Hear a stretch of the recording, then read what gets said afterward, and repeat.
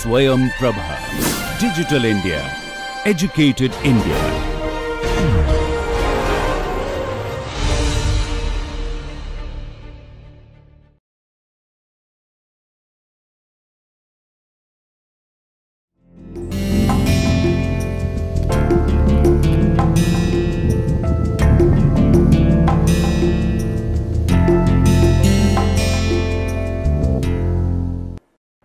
Welcome to lecture 36 on time series modeling and forecasting. In the last lecture, we discussed the idea of causality for multivariate time series. We in particular we considered Granger's causality and then we discussed various forms of Granger's causality say instantaneous causality or feedback or one directional causality or both directional causality etcetera. In this lecture, we are going to consider various causality tests. Uh, first, we will consider different causality tests for bivariate time series models. Then we will also discuss when you have more than two time series and uh, we consider the causality test for more than two time series processes. Uh, now, we consider causal analysis using bivariate VAR and bivariate MA representations. The AR representation of the process is defined as so, AL y t x t equal to alpha 1 1 L, alpha 1 2 L, alpha 2 1 L, alpha 2 2 L y t x t which is equal to u t v t. Here AL is a matrix polynomial, its order is 2 cross 2. Then alpha j k L is equal to summation i equal to 0 to infinity alpha j k i L to the power i j and k take values 1 and 2. Then alpha j k i is the coefficient of L to the power i in alpha j k L. To normalize the system, we take alpha 1 1 naught equal to alpha 2 2 naught equal to 1.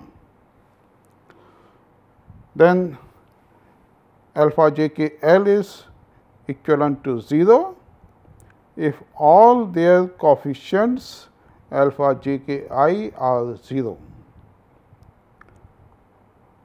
u t and v t are white noise which might be correlated with each other. Now, x t does not Granger cause y t if alpha 1 to L is equal to 0 or the corresponding coefficients alpha 2 1 to i equal to 0 for all i equal to 1 to so on. Then instantaneous causality exists if and only if the current value of u say u t is correlated with the current value of V t.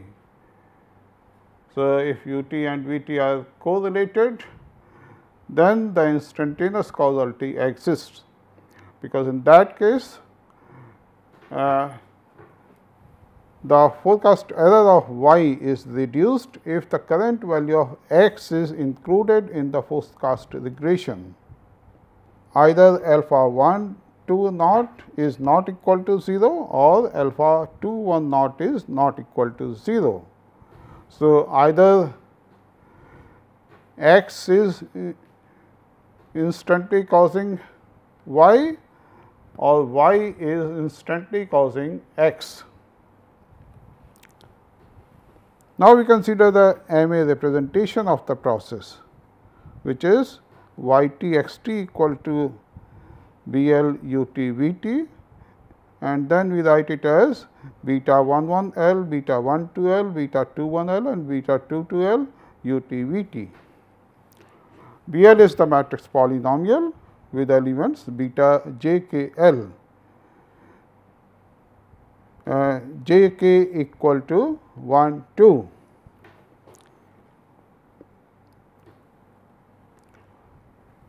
And then beta j k L is equal to summation i equal to 0 to infinity beta j k i l to the power i and we take beta 1 1 naught and beta 2 2 naught equal to 1.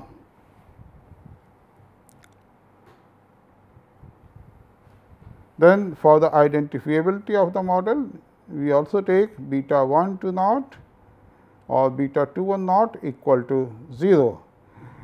Otherwise, what happens? Both the models look alike.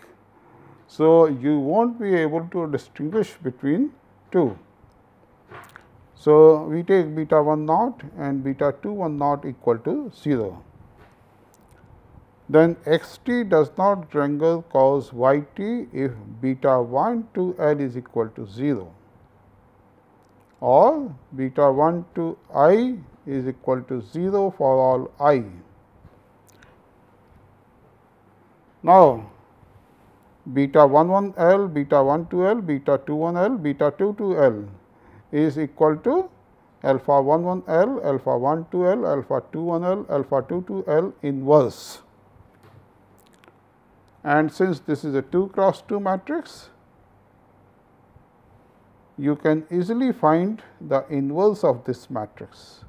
Determinant value of this matrix is alpha 1 1 L, alpha 2 2 L minus alpha 1 2 L, alpha 2 1 L, which is represented as eta L here and then beta 1 1 L is equal to alpha 2 2 L divided by eta L. Beta 1 2 L is equal to minus alpha 1 2 L divided by eta L. In fact, we take cofactor of this matrix 2 by 2 matrix and then we divide each element by correspond by the determinant of the matrix that is eta L. Then we find beta 2 2 L is equal to alpha 1 1 L upon eta L and beta 2 1 L is equal to minus alpha 2 1 L upon eta L. And from here we observe that beta 1 to L is equal to 0 implies that alpha 1 to L is equal to 0 and beta 2 1 L is equal to 0 implies that alpha 2 1 L is equal to 0.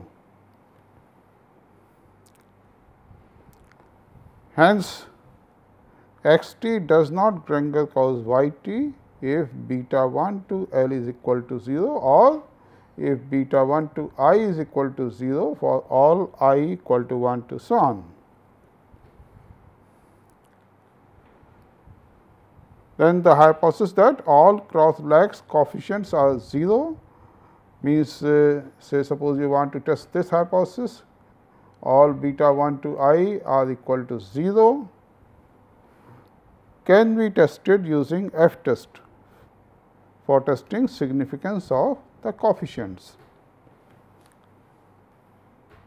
Now, we can characterize causal relations using residuals of individual univariate processes of x and y. Means so far we have considered the AR representation for characterizing the causal relations or MA representation for characterizing the causal relation. Now, we consider the residuals of individual univariate processes of x and y for characterizing the causal relation. So, using Wold representation, we can express y t and x t by two separate M A processes of infinite order. So, now y t is a stationary process. So, we can write it as y t equal to psi 1 1 L A t, where psi 1 1 L is equal to or in general psi j k L is equal to summation i equal to 0 to infinity psi j k i L to the power i and this A t is a purely random process. Similarly, in the M A representation of x t, we use the polynomial psi 2 to L. And this B t is a purely random process.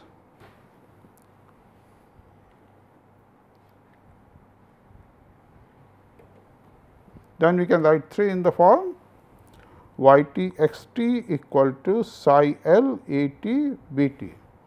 Yes, this psi L is equal to psi 1 1 l is the 1 1th element of psi l, psi 2 2 l is the 2 2th element and 1 2th and 2 1th elements are equal to 0.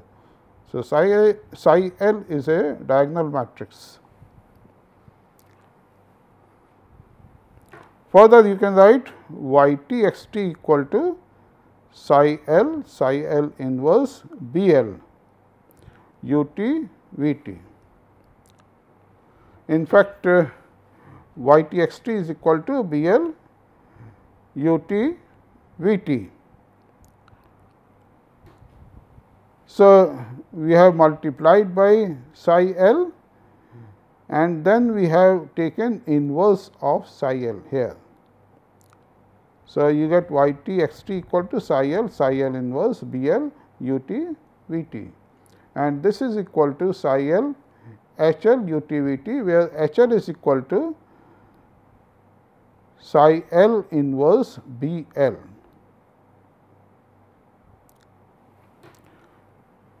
Again this H L is a 2 by 2 matrix and we write this H L as eta 1 1 L, eta 1 2 L, eta 2 1 L, eta 2 2 L. So, you get y t x t equal to psi L eta 1 1 L, eta 1 2 L, eta 2 1 L, eta 2 2 L u t v t. So, H L is equal to psi L inverse B L. So, from here you obtain A t B t is equal to psi L inverse y t x t or psi L inverse B L u t v t and psi L inverse B L is equal to H L u t v t. Now, remember that these A t and B t are the residuals for individual representations or individual M A representations of y t and x t.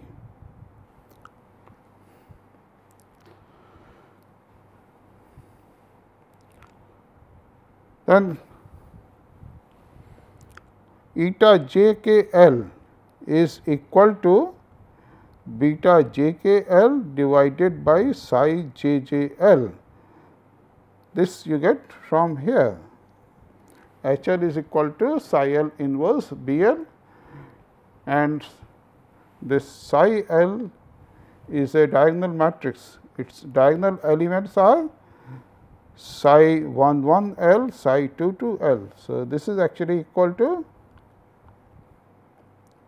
psi 1 1 L inverse 0 0 psi 2 2 L inverse and then you have B L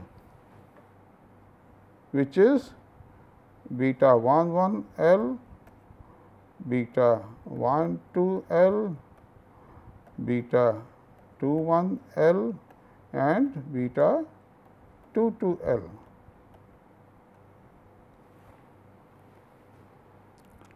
So, from here you obtain eta j k l equal to beta j k l divided by psi j j l for j k equal to 1 2.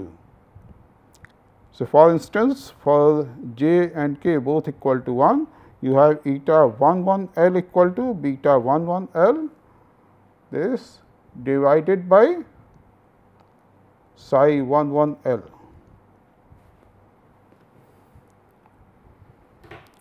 Then alpha 1 to L is equal to 0 implies that beta 1 to L equal to 0 and this further implies that eta 1 to L is equal to 0. So, x t does not Granger cause y t if eta 1 to L is equal to 0 or eta 1 to i the corresponding coefficients are equal to 0 for all i. Then the cross covariance between A t and B t is gamma A B k is equal to expectation of A t B t minus k. Now, this is equal to expectation you write A t equal to eta 1 1 L u t plus eta 1 2 L v t into B t minus k is eta 2 1 L u t minus k plus eta 2 2 L v t minus k. So, we write the values of A t and B t minus k here and this is equal to eta 1 1 L u t into eta 2 1 L u t minus k plus expectation of eta 2 1 L u t minus k eta 1 2 L V t plus expectation of eta 1 1 L u t eta 2 2 L V t minus k plus expectation of eta 1 2 L V t into eta 2 2 L V t minus k.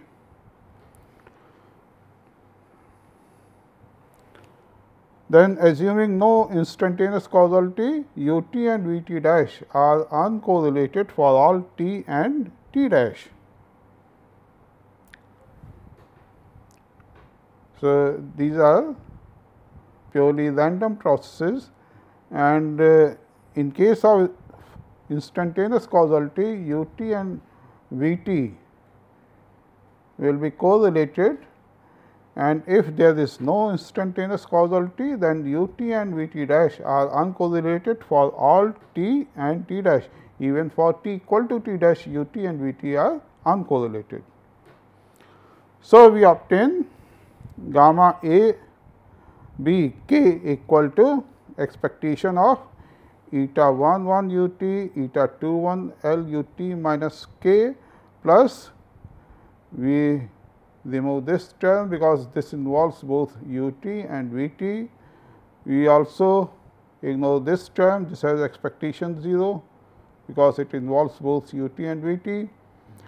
Then you have the last term expectation of eta 1 to L V t plus eta into eta 2 to L V t minus k.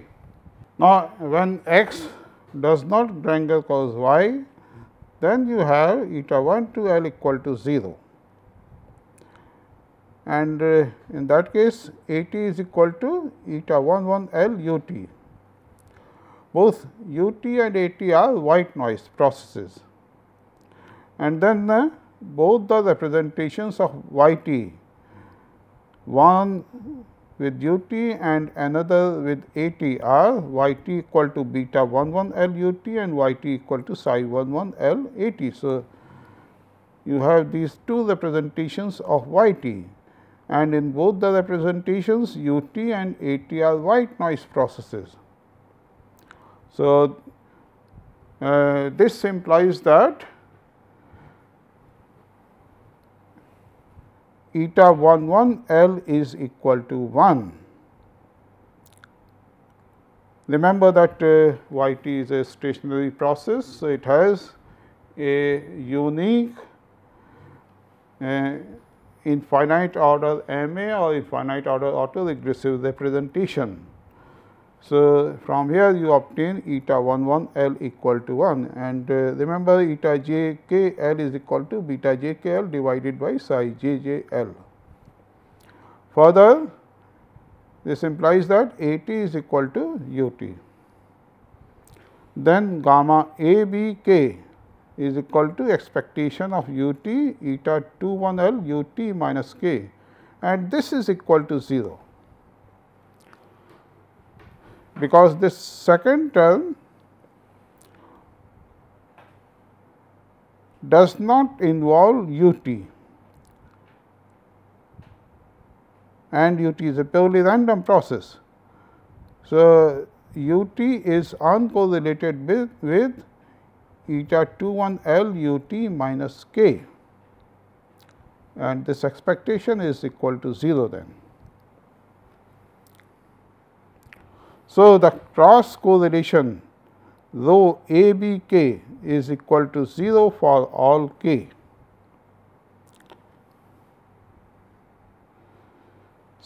Similarly, when y does not cause x, rho A B k is equal to 0 for all k and this is for instantaneous causality. So, if x does not instantaneous cause y or y does not instantaneous cause x, then rho a b k is equal to 0 for all k. Or you can say when x and y are independent, rho a b k is equal to 0 for all k. Now, this result actually forms the basis for Haugh Pierce causality test which we will discuss later on. Now, we consider different causality tests. The first one is the direct Granger procedure and this procedure was uh, proposed by Thomas Sargent in 1976. Now, suppose uh, x t and y t are two stationary time series then test for simple causality from x to y is equivalent to examining whether the lagged values of x in the regression of y on lagged values of x and y significantly reduce the error values or not.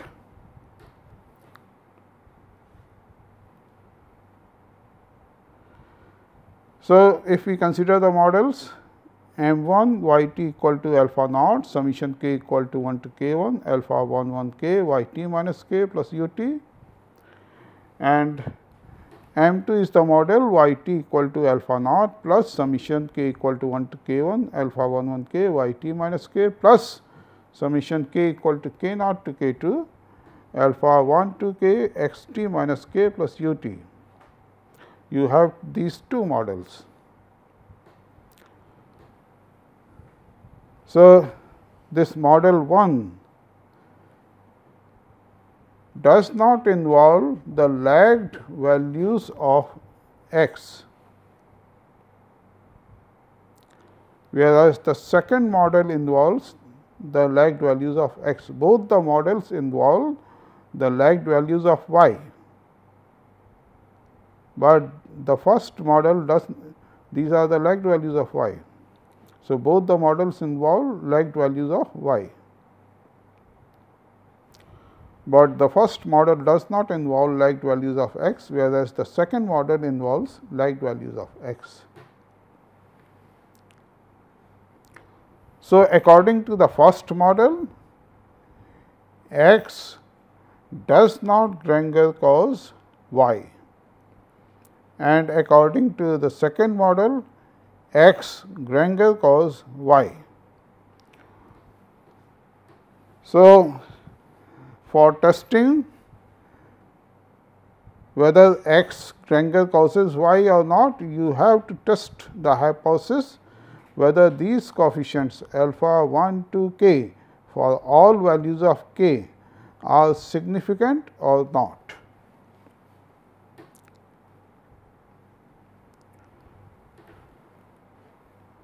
Then before that we estimate both the models using least squares with k naught equal to 1 usually we take k naught equal to 1.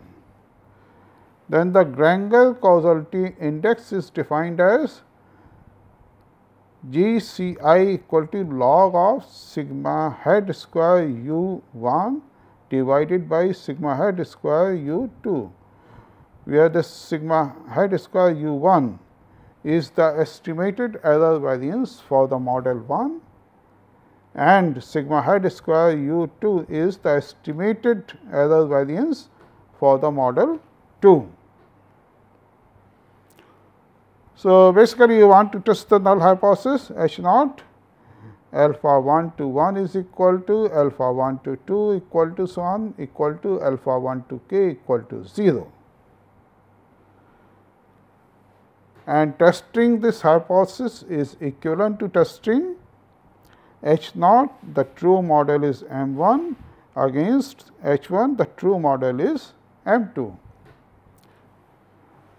True model M 1 means x does not Granger cause y and true model M 2 means x Granger cause y.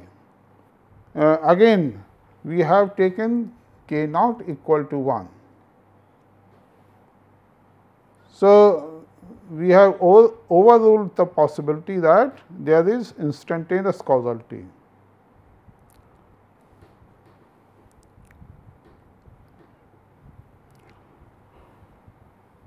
Now, suppose uh, R, RSS 1 is the residual sum of squares for the fitted model M 1, RSS 2 is the residual sum of squares for the fitted model M 2. Then for testing the significance of difference between these variances, you can use the Fisher F statistic, which is F equal to RSS 1 minus RSS 2 divided by K 2 this divided by RSS 2 divided by n minus K 1 minus K 2 minus 1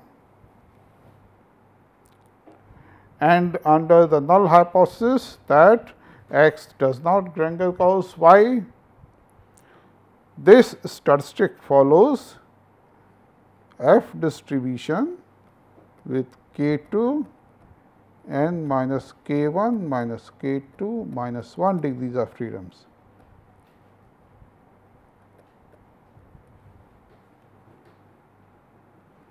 So, the test statistic uh, for obtaining this test statistic, you simply have to run uh, least square regression for model 1, least square regression for model 2.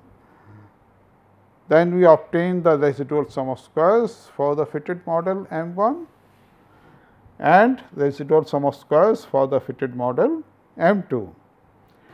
And then you can compute this f statistic. And uh, since under H naught this statistic follows f distribution with k 2 and minus k 1 minus k 2 minus 1 degrees of freedoms, you can easily uh, form the critical region for testing H naught. If this calculated value is greater than the tabulated value say at 100 alpha percent level of significance, uh, then we reject H naught otherwise we accept H naught. And that uh, critical value or tabulated value you get from the F table. Then interchanging x and y in M 1 and M 2 a simple causal relation from y to x can be tested. Say we have tested whether x Granger causes y or not and uh, in the same setup if you interchange the roles of x and y you replace x by y and y by x then you can test the hypothesis whether y x Granger causes x or not again you have to use the F test. Now, if the null hypothesis is rejected in both the directions, we conclude that there is a feedback relation. If the null hypothesis is accepted in both the directions, then you say that neither x Granger causes y nor y Granger causes x. But if null hypothesis is rejected in both the directions, then we say that there is a feedback relationship between x and y that is x Granger causes y and y Granger causes x. Then for testing instantaneous causality, you set k naught equal to 0 in M 2 and then you test the hypothesis H naught alpha 1 to naught is equal to 0 using t test. So, this is simple. Suppose you want to test the instantaneous causality, then you take k naught equal to 0 in the second model and uh, k naught equal to 0 means you have involved a term containing x t the current value of x in the model M 2 and under H naught H naught is the hypothesis that there is no instantaneous causality or alpha 1 to naught is equal to 0. You can apply the usual t test means t test for testing the significance of a single regression coefficient. Now, there are some shortcomings of this test. The results are strongly dependent on the number of lags of the explanatory variable k 2. Say under the model M 2 or the model under the alternative hypothesis, we have included number of lags for the explanatory variable up to k 2. And the results of the test strongly depend upon the value of k 2. Then there is a trade off.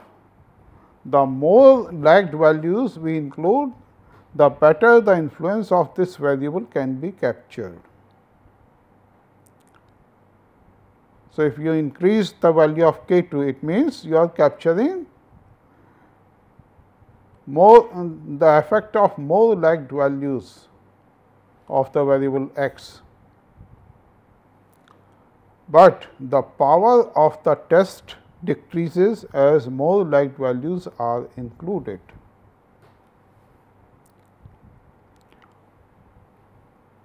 But if you include less lagged values, then uh, it may happen that the values which you have ignored have influence on y.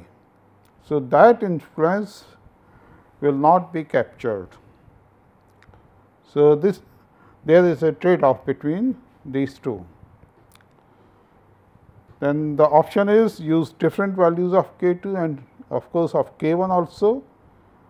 Usually, we start with k 1 equal to 1, but you may select uh, different value of k 1 also.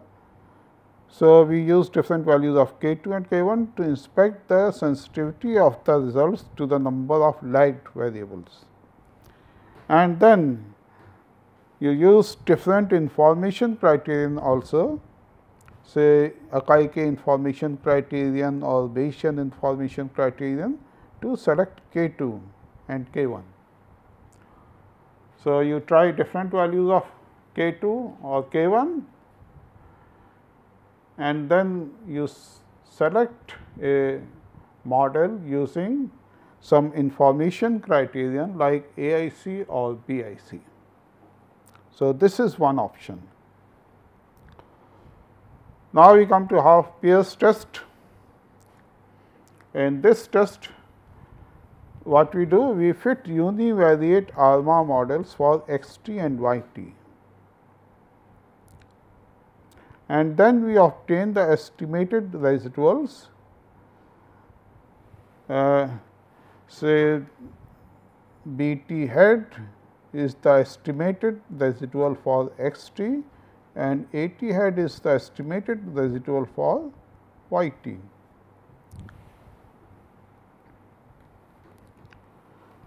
Then we obtain the cross correlations between B t hat and A t hat say rho hat A B k.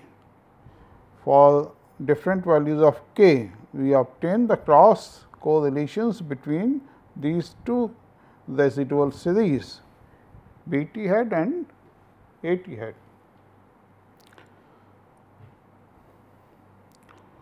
Uh, remember that we have already shown that if you have uh, ARMA representation for x t individual series x t and individual series y t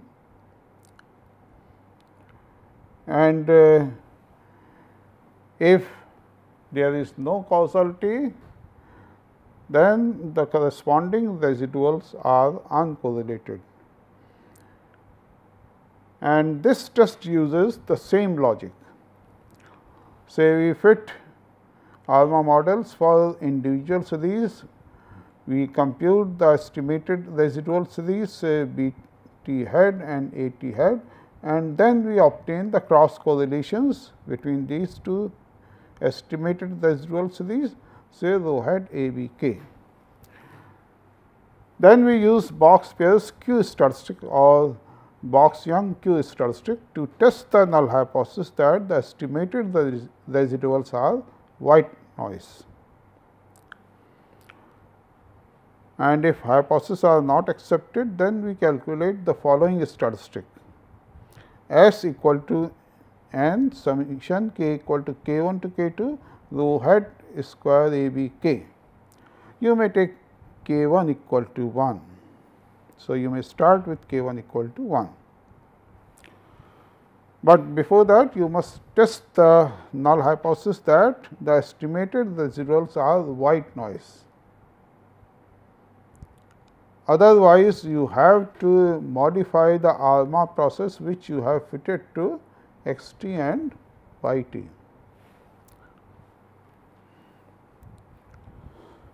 Then under the null hypothesis H naught, rho A B k is equal to 0 for all k and we are going up to lag k 2 say. And so, this k lies between k 1 and k 2 and under, under this null hypothesis this statistic S is asymptotically distributed as chi square with k 2 minus k 1 minus 1 degrees of freedoms. Now, you can form a crit critical region.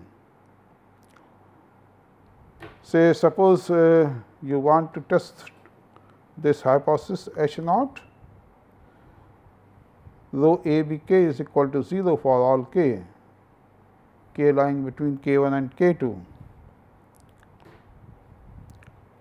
Then you calculate this statistic. And if you are using say 100 alpha percent level of significance, then from chi square table you obtain the tabulated value at k 2 minus k 1 minus 1 degrees of freedoms you compare the two values.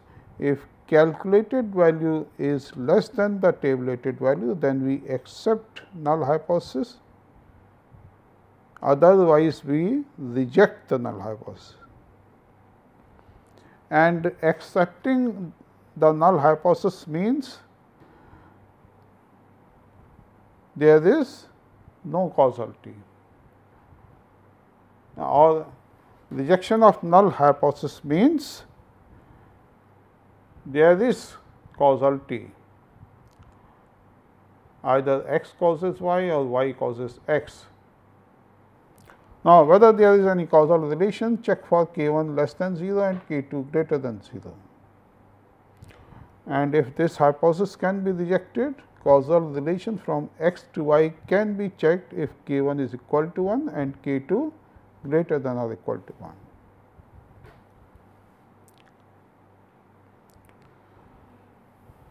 So, first we also check this hypothesis for k 1 less than 0 and k 2 greater than 0. And uh, if we reject this hypothesis, then we start from k 1 equal to 1 and k 2 greater than or equal to 1.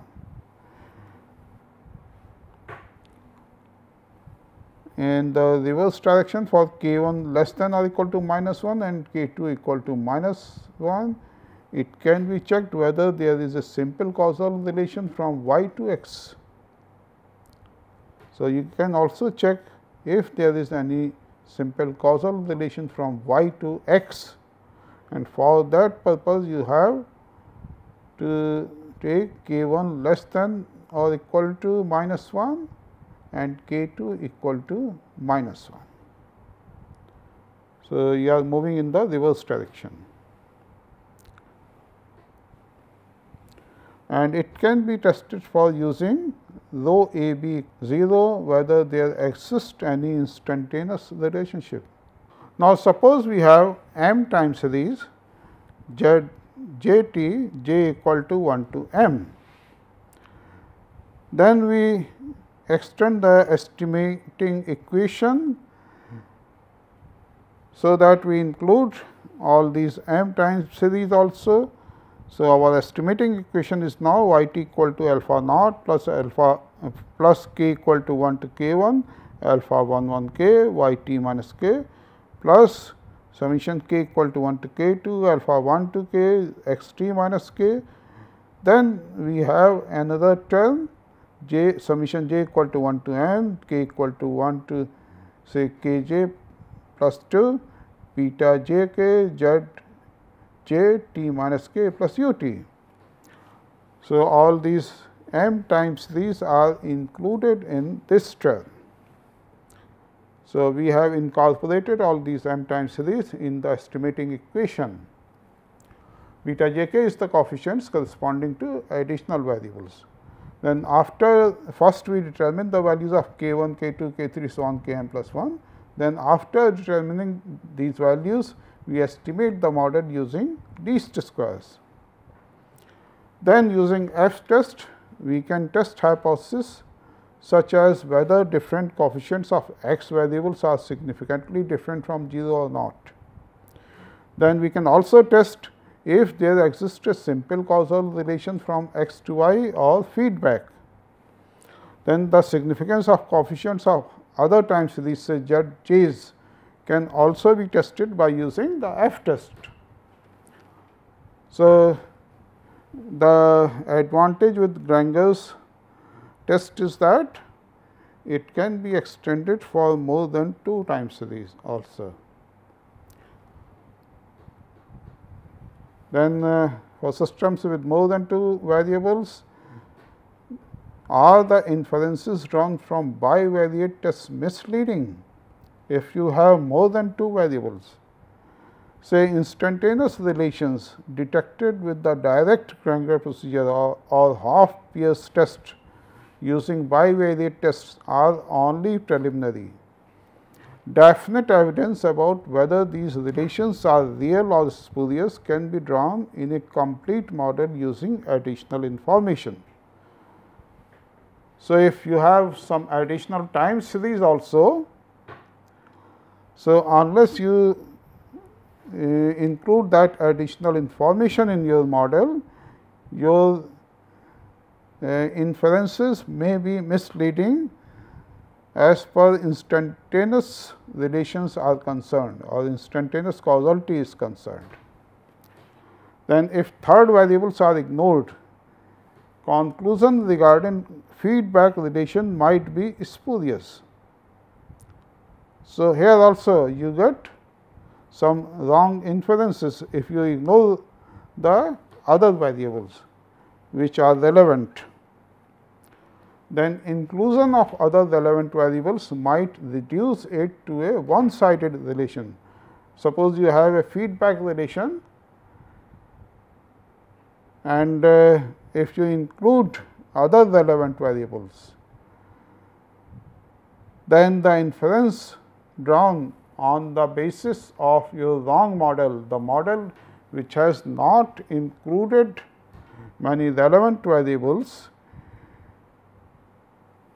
uh, and your inference was there is a feedback, then that feedback relation might be reduced to a one sided relation.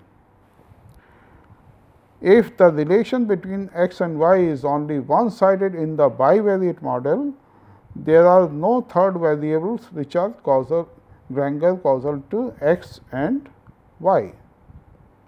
So, in this case if the relation between x and y is only one sided in the bivariate case, then there are no third variables which are Granger causal to x and y.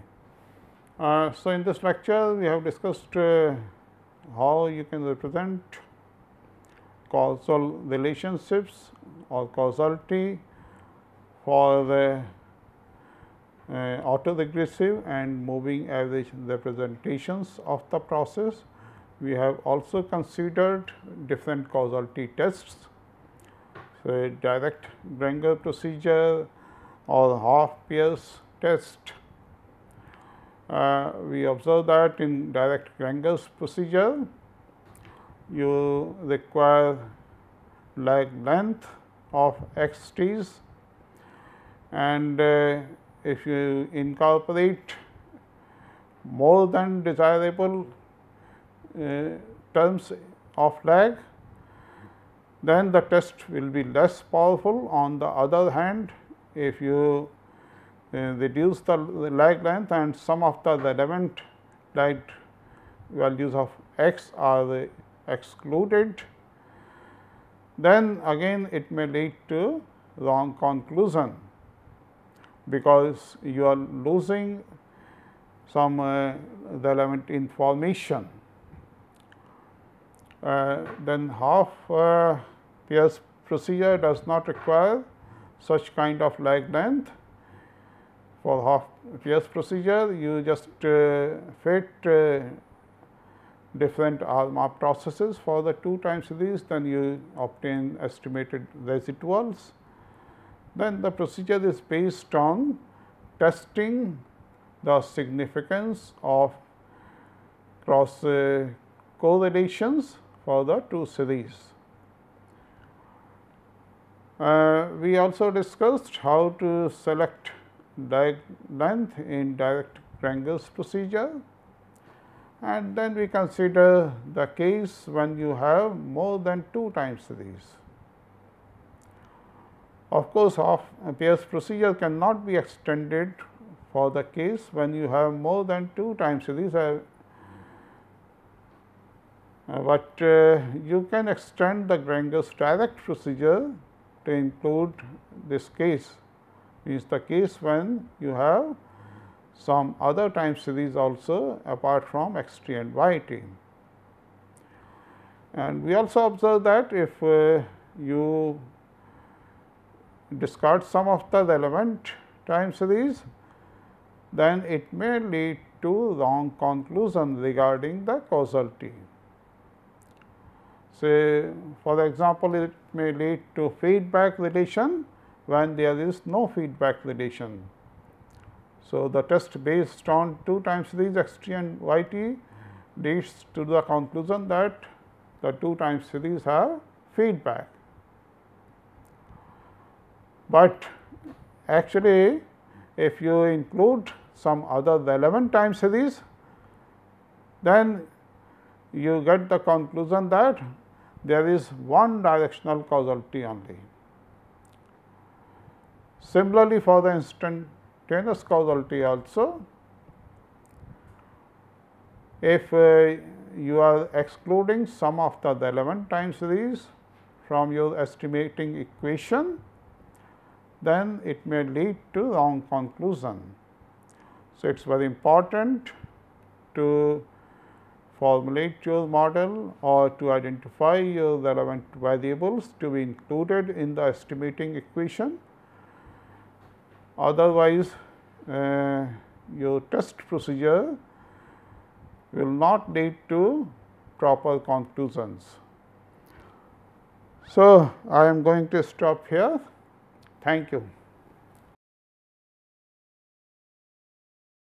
Hi, I am Chitwan Lalji, a PhD student of Health Economics under the supervision of Dr. Debayan Pakrashi uh, from the Department of Humanities and Social Sciences, IIT Kanpur. In one of my essays, I am interested in understanding the relationship between consumption of fruits and vegetables and various health indicators. Health indicators, both subjective and objective health indicators like mental health, self-assessed health, various measures of blood pressure and various measures of cholesterol. Uh, measures of blood pressure like systolic and diastolic BP, you have your incidence of high BP, MAP and incidence of high MAP. And as far as cholesterol is concerned, I have tried to concentrate more on total cholesterol, good cholesterol and incidence of high cholesterol. Now before I go on to what have been my major contributions and various policy implications, I would like to briefly tell you about the policy initiatives of WHO and various countries. The WHO, that is the World Health Organization, it started with a campaign of 5 a day. That is, you should have 5 portions of fruits and vegetables per day. That would be approximately, you could say, 400 grams of fruits and vegetables. Now, a portion, before we go further, I'll just tell you what exactly is a portion. One portion is equivalent to a medium-sized apple or one small glass of fruit juice which is approximately 150 milliliters and uh, maybe 3 teaspoons of vegetables. So, uh, the WHO went with the 5 a day campaign which was further taken up by various countries. Countries like UK, Netherlands, Germany, Norway, they adopted the 5 a day policy while some went for expansionary dietary policies like France, Australia, Canada, Denmark. So, for example, Australia it went for go for 2 plus 5 policy in which it said that you should consume 5 por 2 portions of fruits and 5 portions of vegetables per day. And USA went for a policy of fruits and vegetables more matters. That is you must consume more and more fruits and vegetables. Now, irrespective of these expansionary dietary policies and dietary propagations, it has been found that only 28 percent of women and 25 percent of men they actually meet the recommended dietary norms of 5 a, 5 a day portion. So, the major contribution of my work is firstly to find an association between fruits and vegetables, whether there exists a relationship between fruits and vegetables and health indicators and if they exist whether due to heterogeneity in the data. So, I will be doing it according to age, by gender and by uh, your weight.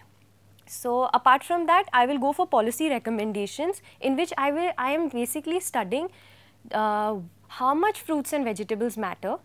Apart from that which type matters more. So, for that I have taken data from the Health Survey of England. Health Survey of England is an annual survey which takes uh, data, which conducts information regularly on demographic and socio-economic characteristics. You have your lifestyle behaviors like an individual smokes or doesn't smoke, alcohol consumption, you have your sedentary and physical activities and you have various health uh, indicators also which have been collected. Uh, so, uh, before I go on to what exactly is my research, I would like to concentrate more on fruits and vegetables like what kind of questions were asked in the survey. Questions like what kind of fresh fruit do you eat did you eat any dried fruit yesterday? Don't count dried fruits in cereals, cakes. Apart from that, for vegetables, they asked how many tablespoons of vegetables did you eat yesterday? So, approximately after this whole survey was conducted, data was converted into portions of fruits and uh, like for example, 3, 3 tablespoons of vegetables is equivalent to 1 portion. So, data was converted and provided to the users that is us from the UK Data Health Survey. So, the major con contributions of my paper is that I found a strong negative association between uh, intake of fruits and self-assessed health, then various measures of uh, blood pressure like mean arterial pressure, high mean arterial pressure, high blood pressure, systolic and diastolic BP and your total cholesterol. Apart from that, I have found a strong positive association between consumption of vegetables and good cholesterol. So, it is recommended in a way that if you want to control your blood pressure, you must consume more and more fruits. And as far as vegetables are concerned, they impact your good cholesterol. Apart from that, I went in for a falsification test. A falsification test is basically conducted to know whether the model that you have adopted and the conclusions that you are drawing are not spurious. So, if uh, a falsification test is done to know in a way it is tested by seeing an indicator, a health indicator which is not being impacted by your consumption of fruits and vegetables and then see we see whether there is significant result or not. If there is no significant result that means your model is good and your results are non-spurious. So what we did is for falsification test we took ear complaints and infectious diseases. Now ear complaints like if you are deaf since birth or you have some kind of imbalance body imbalance that is not being impacted by your post consumption of fruits and vegetables and we did find insignificant results. Apart from that infectious diseases like HIV, A, HIV, AIDS, etc., we found similar insignificant results, indicating that our, uh, that our results are not spurious, non-spurious. Apart from that, we went, uh, since there was a, a, lot of heterogeneity in the data, like uh, by gender, by age and by weight. We, can we did the regression analysis. We found results which stated that as far as uh, fruits are concerned, it impacts a male's health more than a female's health. So, it is basically said a, a man should consume more fruits to impact his health whereas as far as vegetables are concerned, they impact women's health more. But this has been only seen as far as cholesterol is concerned, the various measures of cholesterol like total cholesterol, good cholesterol and your incidence of getting high cholesterol. Now, after this we went in for a policy implication and in the policy implication we found, we tried to find two policy implication, what matters and exactly how much portion matters. So, as far as how much portion matters, we have found that on an average 5 or more portions of fruits impact your overall health that is your self-assessed health, your MAP, your incidence of high MAP and incidence of high BP. But if you want to have a good mental health, so you can optimize your mental health by consuming 3 or 4 portions of fruits as well. And similarly, uh, as far as self-assessed health and total cholesterol is concerned, an individual must consume 4 to 5 portions to optimally have the impact of consumption of fruits. Apart from that, vegetables have had a very little impact on your health. It only impacts your incidence of getting high MAP and high BP and uh, you, it's seen that only it impacts when you consume 5 or more portions of fruits. So, an optimum consumption of 5 or more portions of fruits and vegetables are recommended, but fruits have a more impact on your overall health on various measures like self-assessed health, mental health, your various measures of blood pressure and various cholesterol levels. Another thing that we find is which type of fruit matters. It has been seen that all size fruits, they impact your self-assessed health, your systolic and diastolic blood pressure, your mean arterial pressure, your high BP and incidence of getting high MAP and high cholesterol. But we find that uh, as far as frozen fruits or canned fruits are concerned, they have a they help in regulating your incidence of getting high MAP or high BP, but it has a trade-off. That means there is something negative happening, it reduces the good cholesterol in your body. Apart from this, it, if you if you ha have an incidence of getting high cholesterol, it is recommended that you must consume fruit juices because it has a impact in reducing your probability of getting high cholesterol and uh, dried fruits they impact your self-assessed health. As far as vegetables are concerned, very little impact has been seen. It has only been seen in case of uh, uh, portion of salads and its association with self-assessed health. Another thing that they have seen is vegetables in composite, they have an association with good cholesterol.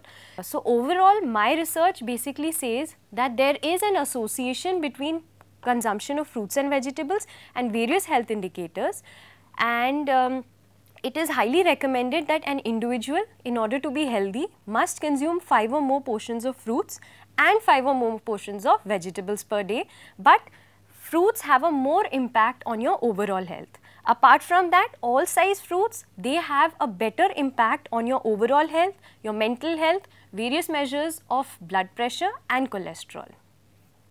So, thank you.